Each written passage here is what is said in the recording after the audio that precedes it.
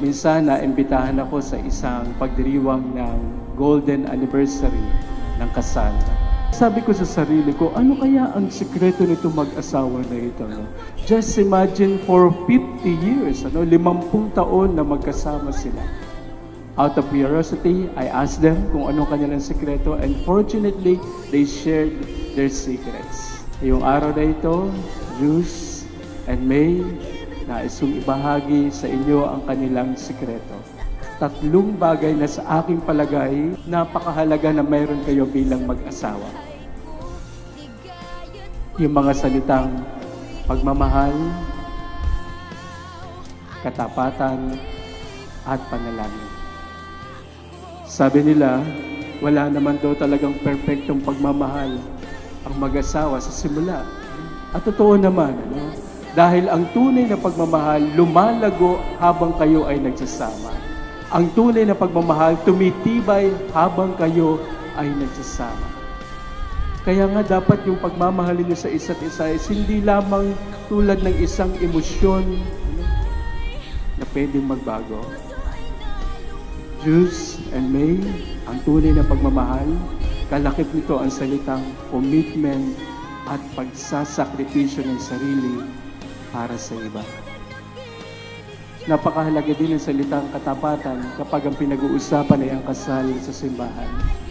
Ang pangako ninyo is, ikaw lamang ang aking iibigin ngayon at kailanman. Again, sana patunayan ninyo sa inyong mga panauwin na yung mga kinakasal sa simbahan hindi naghihiwalay dahil malinaw sa inyo ang inyong pangako. Walang iwanan. Walang hiwalayan. Ang pinagsama ng Diyos, hindi pwedeng pag-iwalayin ng tao.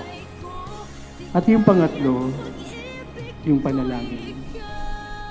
The family that prays together stays together. Manalangin, humingi ng paggabay at tulong sa Diyos. At ang Panginoon ang bahalang magturo sa inyo kung sino man yung ipapadala niya na tutulong sa inyo.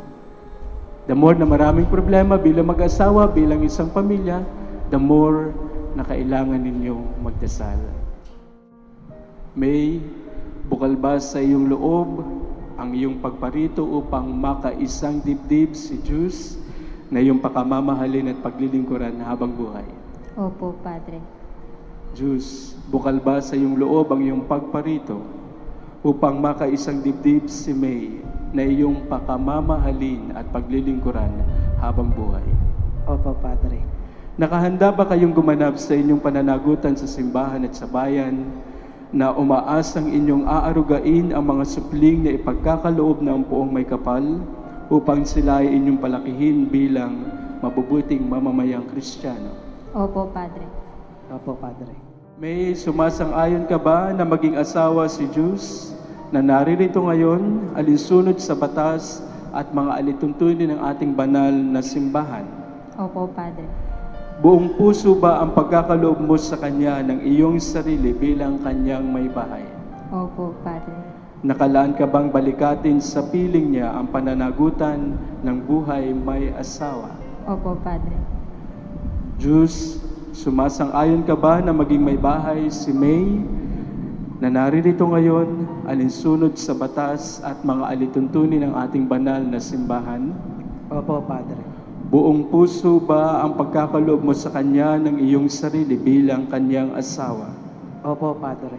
Nakalaan ka bang balikatin sa piling niya ang pananagutan ng buhay may asawa?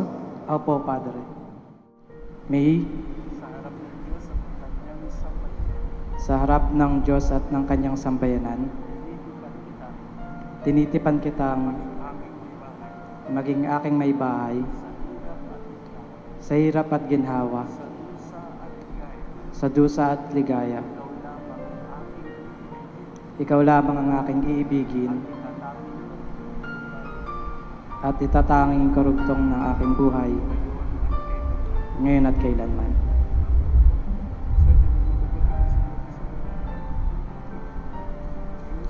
Diyos, Sa harap ng Diyos at ng Kanyang sambayanan.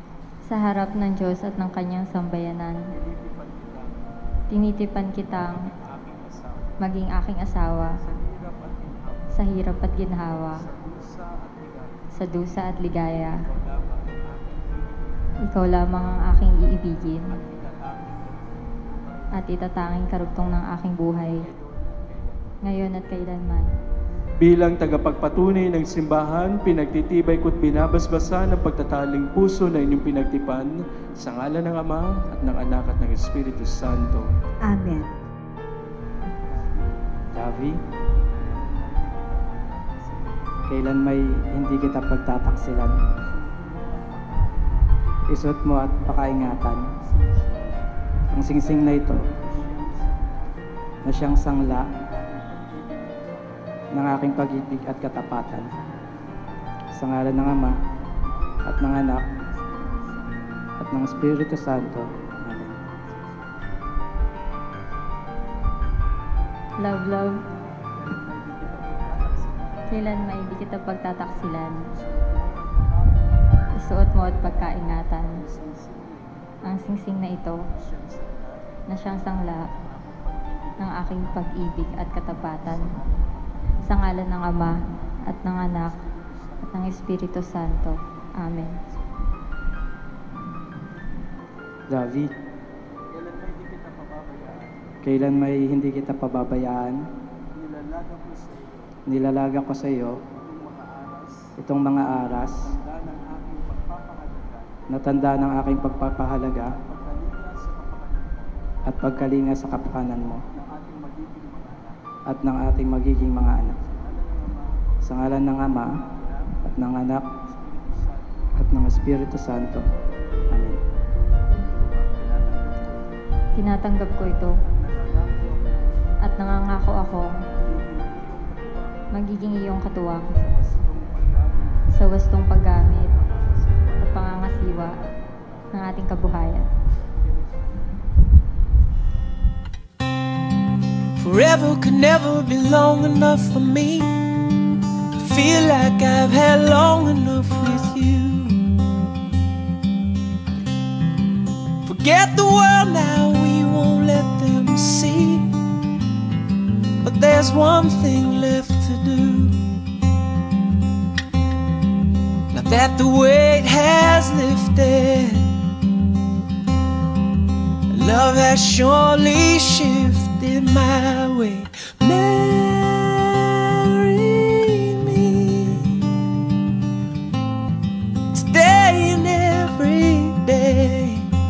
Habilin ko sa inyo mga bagong kasal, Jews at May, mamuhay kayong lagi sa pag-ibig at katapatan. At pagpalain po kayong lahat ng makapangyarihang Diyos, Ama, Anak at Espiritu Santo, Amen. Together could never be close enough for me to feel like I am close enough to you. You wear white and I wear out the words I love you, and you're beautiful. Now that the wait is over. Love has finally showed her my yeah.